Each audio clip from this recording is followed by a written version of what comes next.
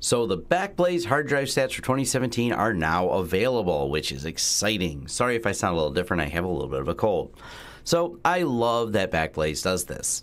Backblaze is a company that has built a storage system uh, uh, you know, online cloud storage, if you want to call it. And they've built this on a very different platform as opposed to just building your usual enterprise by, you know, Dell EMC or whatever you want to buy for your storage or my favorite, uh, FreeNAS and TrueNAS. They built it with consumer equipment and have built an interesting company. So you can read all about that there, and they have a lot of statistics they've shared. And uh, I really love companies that share a lot of their stats, especially when they have so much at scale. Google released a little bit of drive information a while ago, and I don't know if that was the inspiration for this. I don't remember how this all started, but they've been doing this for a long time, which is really awesome. So they're they've been doing it since 2013, and they give you their smart status and they're currently, as of uh, 2017, there are about 88 million entries totaling 23 gig of data. You can download this from our website uh, if you want to do your own research. But for starters, here's what we find out. Now, this is something else I really like. They don't just give you the stats, they give you, if you want, all the stats so you can download and create your own uh, charts and statistics out of this. So if you want to look at the data in a different way, go ahead. And I'll leave a link to this, of course. So these are all the higher drive reliability statistics. One of the things they do is, unless they have a uh, higher quantity drive, and they do do some qualifiers in here of you can't make assumptions because if they only had a small sample size and one of that drive fails, you're going to look, oh no, that's a high percentage. So I'm really going to focus myself on drives that have a larger quantity install because I think that gives you better overall. So this is the 2017 fourth quarter list.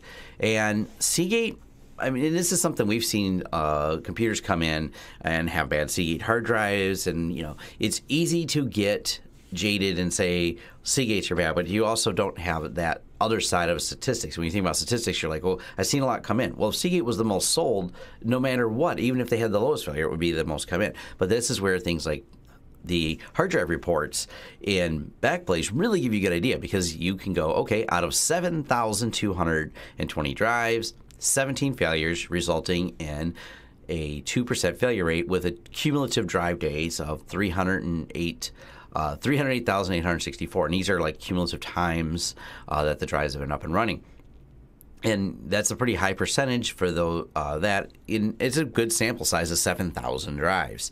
Uh, here's 9,886 drives with 1.3%. And we're seeing this kind of consistent here. So out of 14,000 drives, 1.2%.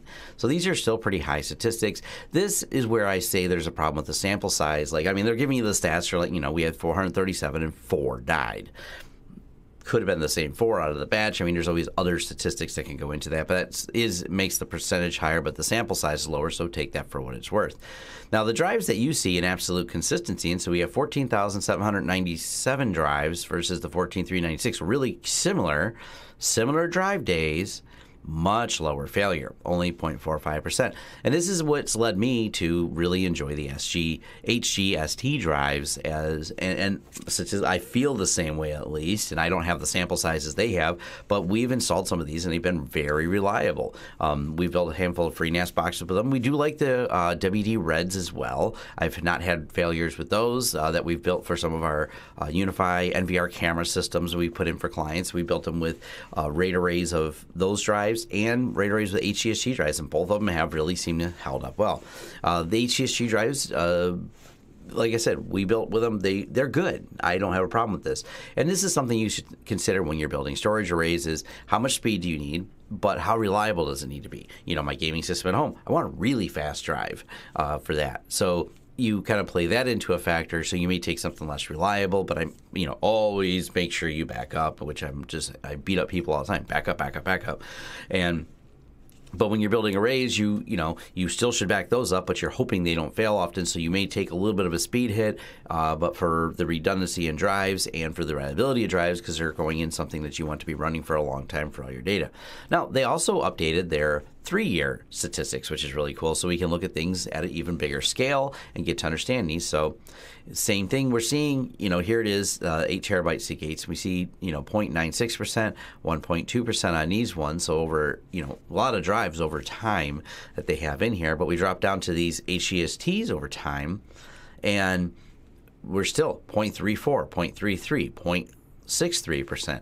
So a slight increase, but still a lot less than Seagate. So uh, take it for what it's worth. I'll leave a link to all these drive stats, but uh, this is always interesting, to, you know, to look at so you can kind of get some ideas for uh, reliability. And I mean, these are going in their data center, so they're not just kind of casually sitting there like my gaming computer, which is not on every day. Uh, I don't play games all the time. It's kind of you know, when I'm in a mood or when the kids are playing it. Uh, so it gets used, but not even not near to the intensity that a data center uses. So this is some really solid usage on these to see how they're holding up, especially because they're like I said, a lot of these are consumer drives that you can get, or maybe some are prosumer drives. But the uh, reliability stats really interesting to look at, and uh, especially when you see some of these really high failure rates with some of them. But granted, when you only have a drive count of 60, doesn't take much to fail. So don't get too excited about that. That's a really small sample size. So take that into account.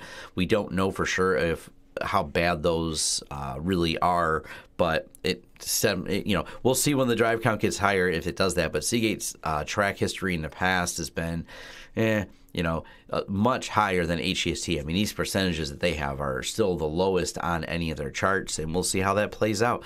And hopefully, the hard drive companies are looking at this and working with them uh, to figure out what the failures are and how they can make them better. Uh, but these kind of statistics, when companies release, is so helpful to the greater community. Um, and the fact that you can look at the data yourself, if you have another idea of how you want to look at it and track some of the drives in there, they give you that data. So I'll leave the links in the uh, description below if you'd like to kind of hear, like, subscribe, and all that great stuff. Hopefully, this was uh, enlightening for you and it makes you think about the hard drive purchases a little bit. Thanks.